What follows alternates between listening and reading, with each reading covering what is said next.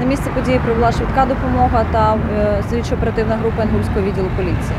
Медики констатували смерть потерпілого, і слідчо-оперативна група направила тіло чоловіка на проведення слідчо-медичної експертизи з метою проведення остаточної з'ясування остаточної причини смерті і характеру тілесних ушкоджень.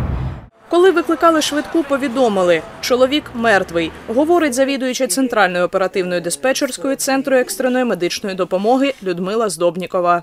По прибытию на месте бригады По прибуттю на місце бригада визначає, чи є пульс, дихання за відсутності цих показників констатують.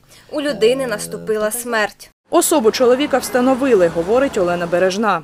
Це 61-річний місцевий мешканець, який був двірником прилеглої до павільйон торгівельних павільйонів території. У прилеглих до зупинки громадського транспорту павільйона говорять, тут прибирає жінка. Ні, чоловіка ніколи не бачили. У нас лише жінка прибирає. У нас із дівчатами спільна жінка-прибиральниця. Тобто ми її винайняли, вона приходить в кінці дня прибирає. У поліції відкрили кримінальне провадження. Порушено кримінальне провадження за частиною першої статті 115 Кримінального кодексу України. Це є умисне вбивство. Санкція статті передбачає покарання у вигляді позбавлення волі на термін від 7 до 15 років. Наразі встановлюються всі обставини події та особа вбивці, і поліція звертається до громадян, які могли стати свідками цієї події, надати будь-які корисні для слідства інформацію до Інгульського відділу поліції Миколаєва або за номером телефону 102. Валентина Гурова. Новини на Суспільному. Миколаїв.